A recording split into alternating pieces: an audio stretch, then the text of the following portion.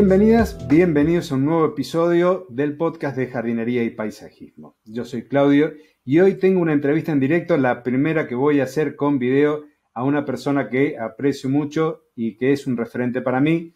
Hoy nos, va nos acompaña un invitado de lujo. Y esta persona se dedica a hacer espacios que son un referente de la adaptación y de la creación, de la recreación de espacios saludables. Hoy hablaremos de biofilia y de el diseño biofílico. En esta ocasión, el profesional que nos acompaña es Albert Cervera. Bienvenido, Albert. Un gusto tenerte en este espacio y que sea esta primera experiencia de video podcast contigo. Hola, Claudio. El gusto es totalmente mío y esperemos que sí, que sea el primero de una gran aventura. Bien, esperemos que así sea. Bueno, me gustaría que te presentes a la comunidad, que digas quién sos, a qué te dedicas y todo aquello que consideres importante para que la comunidad te vaya conociendo a través del podcast. Bueno, la pregunta de quién soy es una pregunta muy filosófica. Voy a intentar eh, centrarme un poquito más en la parte profesional porque si no me podría extender mucho. Bien. Pero como te comenté, he tenido a nivel profesional una experiencia un tanto loca, bastante variada. Yo, yo estudié dirección de empresas, eh, estuve como ocho años de asesor de estrategia en empresas por todo el mundo y, y, llegado ese momento tomé la decisión de dar un cambio de vida, centrarme a cosas con más propósito que tuviesen que ver con, con el propósito que consideraba que era mi vida y ahí, a partir de ahí empezó un, un camino de búsqueda eh, apasionante, realmente, que, que aún no ha acabado. y eh, bueno, en todo ese proceso eh, acabé siendo director de una compañía de artes escénicas internacional, la Fuera del Baus, eh, creando una cadena de hoteles en las Baleares y en el Caribe también. Y, y, entonces ya fue cuando decidí crear mi propio proyecto, donde en principio me asocié con un, con un jardinero japonés para crear un centro de crecimiento personal en la naturaleza, que finalmente por circunstancias de la vida lo acabaron vendiendo a otras personas. Entonces, bueno, momento como de caída de un proyecto. Me fui a vivir a un bosque durante seis meses para poner un poco de orden a todo, a todo ese proyecto que se había caído. Y entonces allí decidí crear este proyecto con el que estoy totalmente apasionado ahora, que es Symbiotia, donde nos centramos en crear entornos eh, saludables, entornos de bienestar para hospitales, eh, residencias de mayores, oficinas de empresas y bueno, cualquier lugar que necesite, que yo considero que son la mayoría, mejorar un poco la vida de las personas. Bien. Ese sería un resumen más o menos concentrado. Pero perfecto, muy claro. ¿Y en qué consiste una intervención tuya, tuya y de tu equipo? Pues bueno, yo, siempre hago la broma que, que, nunca, nunca lo sé hasta que me meto. es decir, siempre la idea es siempre es empezar sin traer ninguna...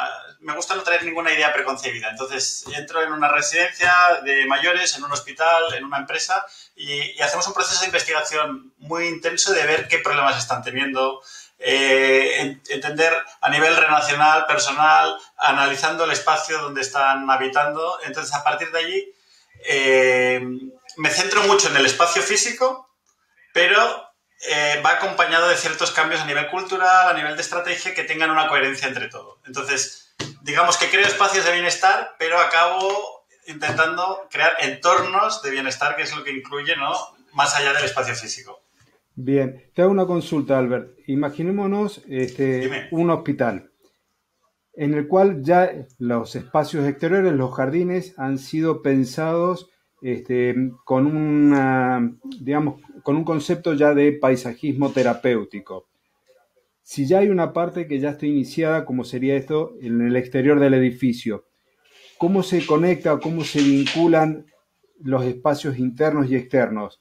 ¿Cómo llevas la, digamos, la, o la naturaleza desde el exterior al interior de una sala de espera, de una habitación de, cuidados intensivos o de una habitación este, común de, ese hospital.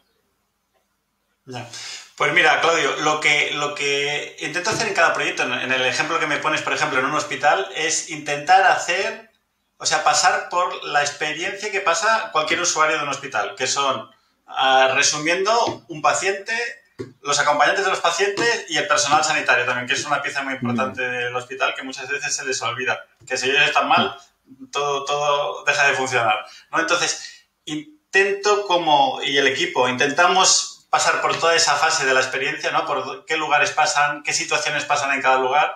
Entonces, a partir de ahí, respondiendo ya más concretamente tu pregunta, es a nivel interior. En muchos hospitales no podemos eh, utilizar eh, lo que sería naturaleza viva, muchas veces, en algunos hospitales sí, algunos no.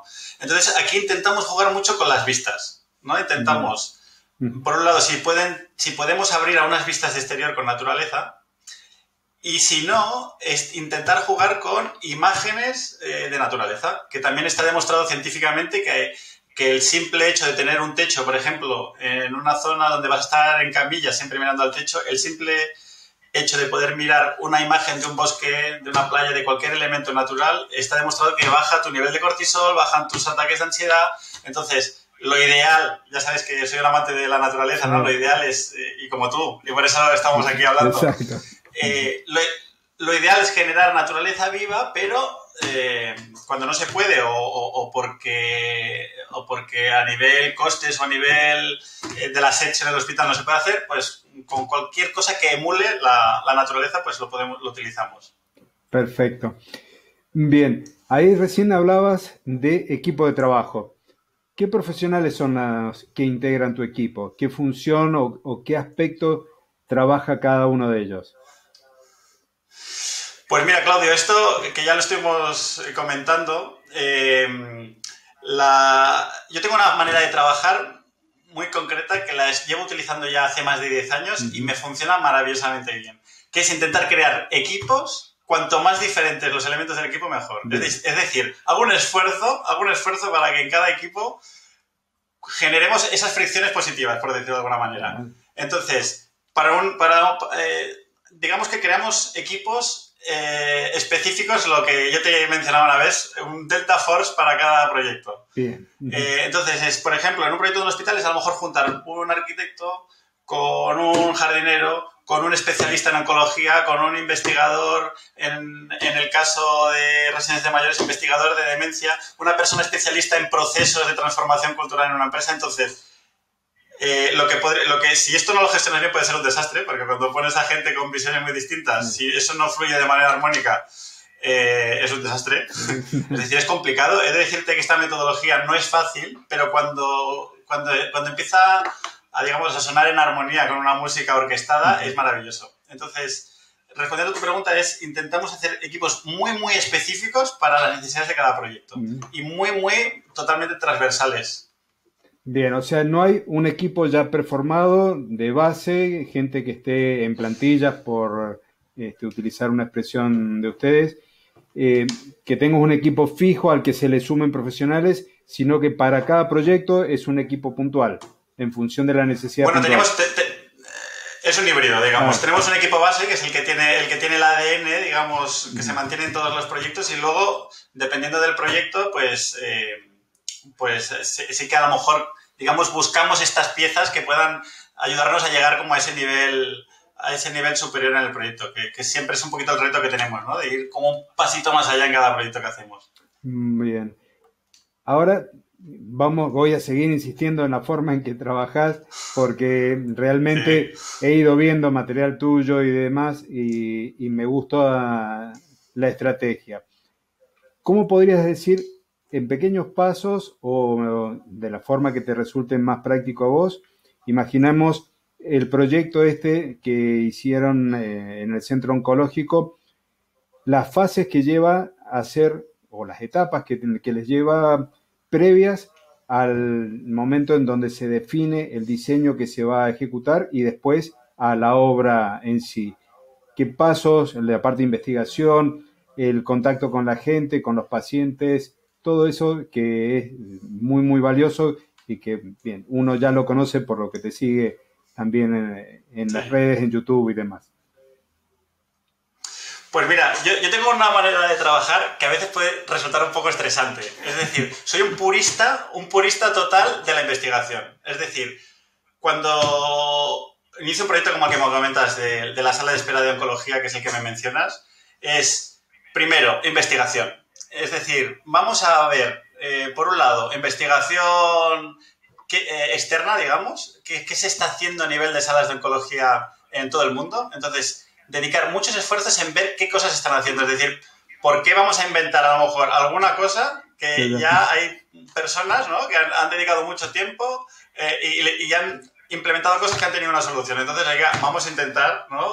Eh, recuperar esto, ¿no? Te lo digo de una manera así un poco medio de broma, pero, bueno, es como intentar recopilar toda esa inteligencia que ya hay en todo el mundo, que gracias, gracias a, la, a, cómo estamos funcionando ahora, es muy fácil acceder a ella. Y muchas veces, muchas veces está como en un cajón sin utilizar. Entonces, primera parte, investigación externa y luego investigación interna, que es hacer eh, un proceso de, de, entrevistas con las personas que van a utilizar el centro, que saben exactamente qué problemas hay y no voy a venir yo de fuera a decirles sin pensar, oye, te va a ir bien esto, te va a ir bien esto, por mucho que podamos tener alguna experiencia previa. Entonces, en el caso del hospital, pues nos gusta hablar con eh, desde médicos, personal de enfermería, desde las personas que están en recepción, en administración, desde la cocina, desde las personas de limpieza, es decir, cuantas más personas podamos tener. Eh, más información relevante que pueda solucionar problemas reales que tienen. Perfecto. A todo esto, bueno, me olvido, familiares, acompañantes, o sea, conocer realmente las experiencias. Entonces, esta parte de aquí, esta parte de la investigación, yo la llevo muy al límite y por eso te decía que soy un poco generador de estrés, porque a veces esto, hasta que no llega a un punto donde siento que, estamos llegando como muy al límite de, conocer, de que decimos, sí, tenemos la solución, a veces a lo mejor está acercando el deadline, ¿no? El, la mm. fecha de entrega del proyecto no tenemos nada diseñado. Porque yo siempre digo, no se diseña nada hasta que tengamos, digamos, la base de, de la receta, ¿no? Por decirlo de alguna manera. Bien. Entonces, a la, a la, que tenemos esta investigación, la validamos con todas las personas del centro. Entonces, es como que les ayudamos a co-crearlo. Es decir, no es algo que nosotros lo decimos, sino hacemos como un prueba-error, prueba-error. Les vamos rebotando lo que vamos sacando y a partir de ahí sacamos una solución conjunta.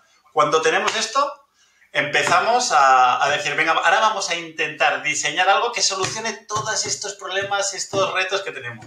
Entonces, el, el diseño no, no, no va a hacer cosas bonitas y ya está. Es decir, cada cosa que hagamos tiene que solucionar todas estas cosas que hemos dejado muy bien estructuradas. Bien. Entonces, esta sería como la parte del diseño y, una vez tenemos el diseño muy bien hecho, también seguimos en esta fase de iteración con lo que serán los usuarios para que lo validen, eh, no solo al final, sino constantemente durante el proceso. Y una vez lo tenemos, lo dejamos muy, muy, muy bien diseñado para que la obra eh, pueda ser muy fácil. O sea, en el momento que todo eso está muy bien definido, la obra es muy fácil, la puedes hacer más rápido. Si esto por querer acelerar no lo, no lo definimos tanto, acabamos, por experiencia, acabamos teniendo problemas en la fase de obra. Entonces, más o menos, así de manera resumida, es un poquito el proceso que hacemos. Sí, estaba mirando, estaba escuchándote y viendo las analogías con mi trabajo en la parte del diseño de los jardines. en mi caso es muy parecido. Parto de un trabajo de investigación, en este caso es charlas y una entrevista y hasta encuestas donde el cliente me tiene que ir completando con todos los datos, análisis de quiénes van a ser los usuarios de los jardines, tanto si hay gente mayor, si hay mascotas, si hay niños, para ver el tema de seguridad, si hay gente con silla de ruedas que van a usar el jardín, todo ese tipo de trabajo. Yo me consideraba que era, estaba también un poquito pasado de, rollo, de rosca, pero estoy viendo que eh, es una metodología de trabajo más común de lo que yo pensaba. Eh, porque tengo también el caso de muchos clientes que creen que yo voy a ir eh, con mi experiencia, mi bagaje de conocimientos y le voy a armar el jardín y le voy a decir hay que poner esta planta en tal lugar y listo. No, en mi caso todos los jardines son co-creados con los clientes. es un proceso. Vamos trabajando hasta que llegamos a ese producto final, ese diseño final, que es el que después se va a ir a, materializar.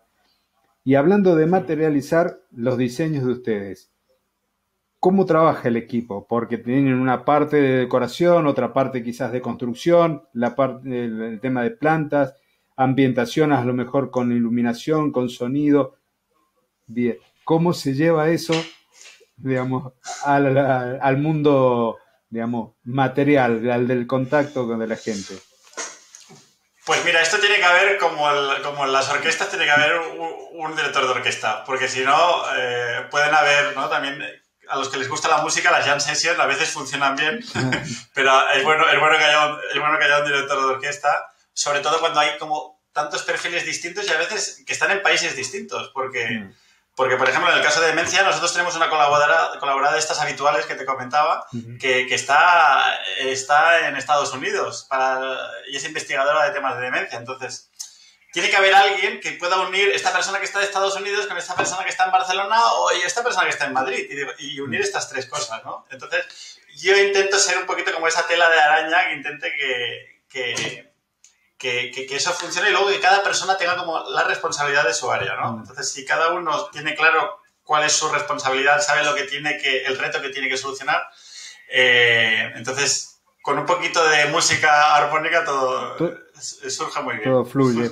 Bien. Sí. Te hago una consulta. Lo que estás haciendo lo, es básicamente el diseño biofílico.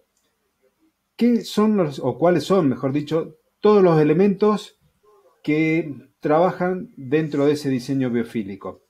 Te recién te nombraba algunos, pero me gustaría que nos cuentes un poco más el efecto, por ejemplo, de la iluminación, de la decoración, de las imágenes, del sonido, por ejemplo, si se coloca algún elemento como, por ejemplo, una fuente, el tema del agua, la inclusión o no de brisas este, que modifiquen las temperaturas y demás, si es un ambiente de trabajo, para salirnos también un poquito de lo que es el espacio que hemos venido hablando, que son de hospitales y demás, a una oficina de trabajo, ¿sí? a un ambiente pleno de trabajo, para aumentar la productividad y demás de la gente que está ahí. Sí. Pues mira, déjame, Claudio, que te. Primero que te haga un pequeño matiz por si, por si tus oyentes, no sé si hayas hablado de biofilia o no. Sí, he hablado algo de biofilia y también lo he compartido a través del canal de Telegram. Vale. Vale. Pues te hago un pequeño, un pequeño resumen de eso, porque de esa manera te podré explicar un poco cuál es mi visión sobre eso. La, biofilia, tal y como la entiendo yo, como se ha definido, es el amor a la vida. ¿no? Demostraron que el ser humano llevamos eh, más de dos millones y medio de años conectados con la naturaleza y solo estos 200 más o menos millones de años, como se dice en España, se nos ha ido la olla y, y de golpe vivimos de una manera que no, no, no, tiene pinta de ser muy saludable, ¿no? Entonces, el diseño biofílico yo es que intento ser muy, no ser muy dogmático con el tema del diseño biofílico. El diseño biofílico es intentar volver a, a, crear espacios que tengan que ver con lo que nosotros desde nuestro ADN estamos conectados y nos hacen sentir bien, que son estos entornos naturales. Entonces, hay como una serie de patrones que se hablan del diseño biofílico, ¿no? los materiales que se pueden utilizar, la iluminación, eh, las corrientes de aire, la utilización de agua, el, el, tener lugares como de resguardo y lugares eh, de acción. Eh, yo lo resumo, lo resumo mucho, o lo simplifico, mejor dicho más. Al final es, tú fíjate en la naturaleza y fíjate en la oficina que estás, eh, que estás viviendo, que estás trabajando, y dime cuánto se parecen, o sea, cuán natural es el lugar donde estás. Entonces, a partir de ahí, todo lo que puedas introducir, que lo hayas podido ver en algún entorno natural, es diseño biofísico. Eso entra desde la mesa, en lugar de ser una mesa de Ikea, eh, totalmente artificial, pues es tener una mesa de madera. El, si puedes tener eh, formas un tanto eh, con curvas. Orgánicas. No, no tan ángulo, más orgánicas, pues en la, en, la, en la, naturaleza es raro ver formas tan rectangulares y puntiagudos como, como en el entorno urbano, ¿no? Entonces, yo intento ser siempre como muy simplista. Eh, obviamente hay, hay, personas que piensan que el diseño bifílico es introducir plantas solo. Es un elemento muy importante, limpia el aire, eh, baja mucho el nivel de ansiedad, pero hay muchas más cosas, ¿no? Desde el tipo de materiales que utilizas, como bien mencionabas, el, introducir el elemento agua es, muy interesante, especialmente en oficinas, como me preguntas. Y te pongo algún ejemplo. No es solo las plantas que utilices. Eh, se ha demostrado que una sala de reuniones eh, en una oficina, si le pones muchas plantas y la pones como una selva tropical, está demostrado que baja el nivel de productividad. Porque, porque, es un tipo, porque cuando hay mucha vegetación, tu nivel de estrés baja tanto que al final no estás productivo en, las reuniones. Entonces, es como también saber en, qué lugares vas a poner las plantas. Puedes poner plantas en una sala de reuniones, pero mm, que sean, bueno, no tan selváticas, ¿no? Cosa que en una sala de relax para trabajadores donde quieres que desconecten y demás, ahí sí que puedes generar un espacio pues más... Con más plantas. Eh, selvático, digamos, o, más, más plantas, exacto. Entonces, hay que, tener un hay que saber un poquito qué funciones hacen las plantas, ¿no? Eh, ¿Qué impacto tienen nosotros? Luego, los aromas, es muy importante. Yo soy un apasionado de los aromas. Hay, hay muchos eh, aromas que han sido demostrados científicamente que mejoran tu productividad de la empresa, como por ejemplo el aroma menta o el aroma jazmín y de lavanda que te relajan. Entonces, bueno, es ir introduciendo estas pequeñas cositas que pueden ser invisibles, pero te hacen cambiar totalmente tu experiencia en una oficina. Mm. Y esto, como siempre digo, no es una cuestión como de hippie que le llamamos aquí, ¿no? Una cosa de, ay, qué bonito las patas. No, no, está demostrado que limpian los compuestos que emiten tanto las, pinturas, las pinturas plásticas, el mobiliario, que emiten una serie de, compuestos orgánicos volátiles que se les llama, que afectan negativamente a nuestra salud, las plantas las limpian, limpian el CO2. Eh, entonces, obviamente siempre prefiero plantas, yo soy muy de plantas naturales y no artificiales. Eh, Obviamente me imagino que tú también, ¿no? Seguro. Tanto planta como el césped. El césped artificial tampoco me gusta. Sí, exacto. Yo tampoco lo odio. bueno. Entonces, bueno, no sé si me enrollo un poco. ¿Te respondí a tu pregunta, Claudio? No, no, sí. Me has, respondido la, la pregunta. Este, creo que ya por ahí te estoy sacando bastante el jugo, estamos aprovechando, estamos aprendiendo muchísimo sobre tu trabajo y hay algo que está sonando en todos los medios de, televisión ahí de España sobre un famoso bosque terapéutico.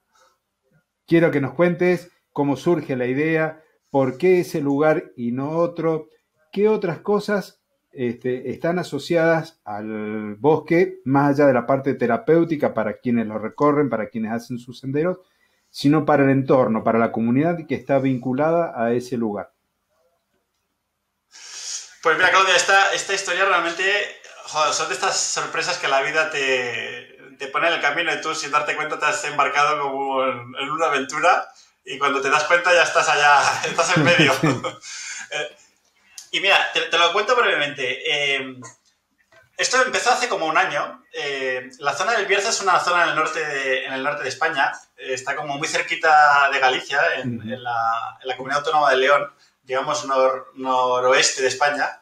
Entonces es una zona con una riqueza forestal increíble.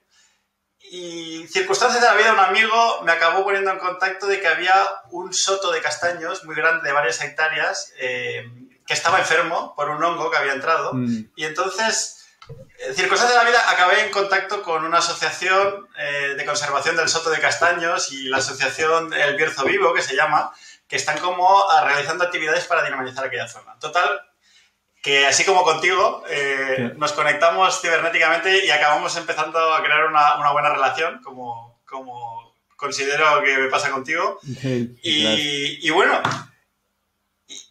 y, no, me digas cómo, pero, pero bueno, al final entramos en una aventura de dirigir un, documental allá en el bosque, eh, en el bosque de Soto de Castaños de Villar de los Barrios, donde la, la idea es crear un bosque terapéutico. Que yo siempre digo, un bosque terapéutico siempre, un bosque es terapéutico siempre, ¿no? Entonces, aquí la única diferencia es que este proyecto, la idea sería, primero, dar accesibilidad a personas que no puedan acceder al bosque para gozar de los beneficios del bosque, y luego el cómo poder generar a través de este bosque terapéutico eh, una especie de catalizador para que una, estas regiones que se están despoblando eh, puedan tener una nueva forma de digamos, a través del turismo sostenible, del turismo de naturaleza, de poder a las nuevas generaciones que puedan vivir y, poder volver a vivir al pueblo. Entonces, bueno, a partir de este documental que intento hablar, que estoy en el proceso aún de hablar de la relación del ser humano con la naturaleza y cómo deberíamos cambiarla para que todo fuese mejor, pues bueno, ha, habido como mucho revuelo mediático como has podido conocer tú. Sí. No, bueno, yo soy una persona que eh, sigue mucho los canales de España, en realidad tenemos acceso a dos, y me llama la atención por ahí en algunos programas que van recorriendo el interior de tu país, de pueblos con 36 habitantes, con 24 habitantes. Eso acá no ocurre. Este, me llama muchísimo la atención. Tampoco es tan común ver, supongo que porque como la oferta es muy reducida, son solo dos canales y los horarios míos donde veo televisión son muy acotados, que es el momento de la cena, en realidad cuando tengo el televisor delante, eh, de que se valora mucho los espacios, que se valora mucho la cultura y estos pueblos. Entonces, este trabajo que estás haciendo vos está en línea con todo eso, en revalorizarle una comunidad, en darle otra perspectiva, porque realmente acá 36 habitantes, no sé si en el término de un año ya no quedaría nada y sería un pueblo fantasma. En cambio allí la gente es como que está muy conectada con su lugar, con su casa, con su naturaleza. Y realmente valoro y felicito que tengan esa, esa forma de ver y de, respetar a los lugares. Sí.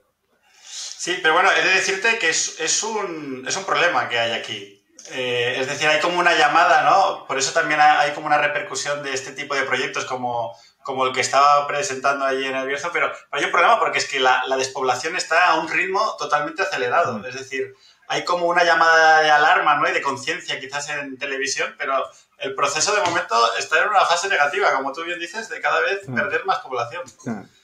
Entonces, por suerte sí que hay como una abertura mediática para, para, ver si se agita un poco la conciencia y, y, se puede revertir esta situación, ¿no? Bien, perfecto. Bueno, Albert, eh, hemos llegado al final de, la entrevista. Te agradezco enormemente el tiempo, la predisposición.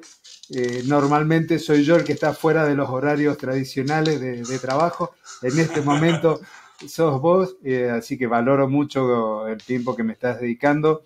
Así es que me gustaría que para la gente que te está conociendo por este medio, que nos des tus coordenadas dónde te pueden encontrar, dónde pueden conocer tu trabajo, dónde pueden contactarte, que después esos datos van a estar en la descripción del episodio como para que sea más fácil esa conexión. Muy bien. Bueno, primero de todo, Claudio, muchas gracias a ti y gracias por compartir este momento. Y, bueno, me podéis encontrar, eh, si queréis, YouTube es un, eh, un canal que se llama Symbiotia, con B, eh, luego la página web es simbiota.com y, en Facebook y en Instagram pues también Simbiotia. O sea que bastante fácil. Bien. Bueno, gracias entonces Albert. Este, estaremos en contacto.